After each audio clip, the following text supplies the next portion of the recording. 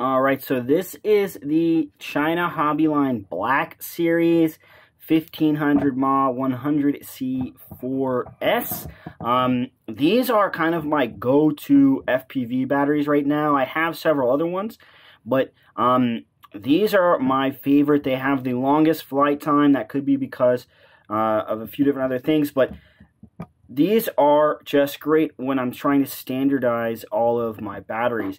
And uh, to really protect them, they actually have, I mean, I can't, it's hard to kind of show this on camera, but on both sides of this battery, not on this side or this side, but on these two sides, there are actually like some thin metal plates uh, to really make sure that nothing goes wrong with these batteries on them getting punctured.